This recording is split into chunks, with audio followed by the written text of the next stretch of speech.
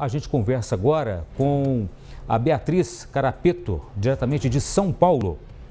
Oi, Bia, boa noite. Seguimos na segunda semana de conflito entre Rússia e Ucrânia. O que a gente pode destacar no dia de hoje? Boa noite. Olá, Edgar. Olá a todos que nos acompanham nesta edição de Jornal da Onda. Já chegamos ao nono dia de guerra, de conflito no leste europeu.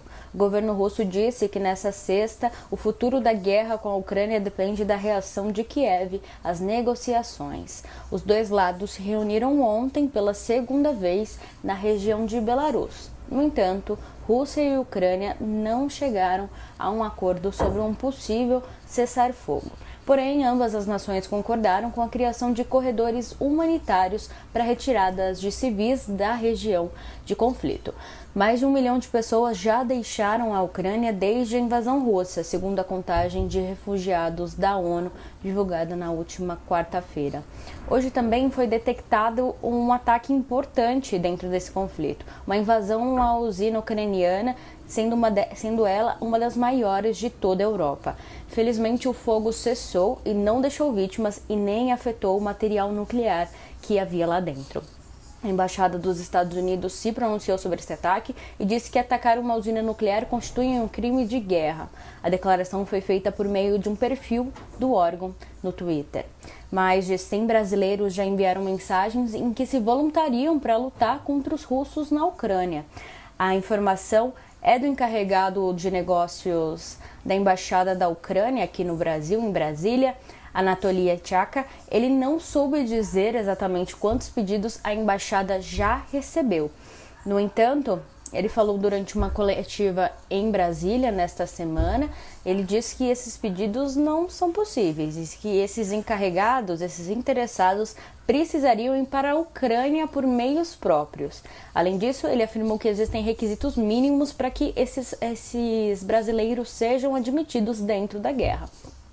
Esses voluntários que foram aceitos podem lutar na Legião Estrangeira de Defesa da Ucrânia e só serão aceitos que tiverem experiência e que falem o mínimo de inglês. Sobre idade mínima, o encarregado diz que não é preciso, perdão, o encarregado afirmou que pessoas com 18 anos não têm a experiência necessária. Então, a idade não vai ser um ato decisório nesta situação. Bem, Beatriz, voltando aqui para o Brasil, ontem os ministros do Supremo Tribunal Federal, do STF, eles mantiveram o que foi votado pelo Congresso Nacional em relação ao valor do fundo eleitoral, que será destinado para partidos políticos, candidatos gastarem nestas eleições de 2022 mantiveram o fundo eleitoral em 4,9 bilhões de reais. Que coisa, hein, Beatriz? É, Edgar, a movimentação política volta aqui ao Brasil. O STF decidiu nessa quinta pela manutenção do fundo eleitoral no valor de 4,9 bilhões de reais para as eleições aqui de 2022, em outubro.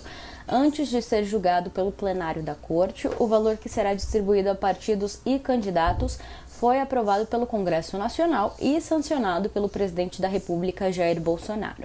Votaram a favor da cifra aprovada os ministros Nunes Marques, Alexandre de Moraes, Luiz Fux, Edson Fachin, Dias Toffoli e Gilmar Mendes. Já Luiz Roberto Barroso, Rosa Weber e Carmen Lúcia votaram contra um trecho da LDO, a Lei de Diretrizes Orçamentárias, mas a favor do valor do financiamento foram totalmente contrários ao valor do fundo eleitoral, os ministros André Mendonça e Ricardo Lewandowski.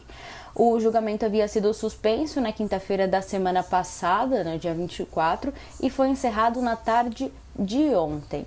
A avaliação dos integrantes da corte foi de que a definição do valor do fundo eleitoral já foi feita pelo Congresso Nacional e que a tarefa de continuar a estipular esse montante que será pago aí às campanhas compete unicamente aos parlamentares.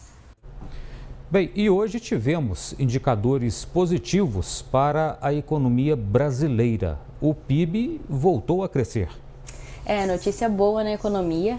Após desabar em 2020, o PIB, o Produto Interno Bruto aqui do Brasil, fechou 2021 em uma alta de 4,6%, que totaliza aí 8,7 trilhões de reais. A informação é do IBGE, o Instituto Brasileiro de Geografia e Estatística, e saiu na manhã de hoje. Esse foi o melhor resultado desde o ano de 2010, quando a economia havia crescido 7,5%. Alguns analistas dizem que o bom desempenho acontece em comparação a 2020, que foi um ano forte pela pandemia de Covid-19, e recomendam cautela sobre o que esperar da economia. O avanço de 4,6 no ano passado representa uma recuperação das perdas de 2020, quando a economia brasileira encolheu bastante, 3,9%, devido à pandemia de Covid-19. Já o mercado financeiro esperava por um crescimento de 4,5% é, passada essa fase mais intensa da pandemia. Então, as perspectivas, mesmo em 0,1, estão positivas para dentro do cenário financeiro no Brasil.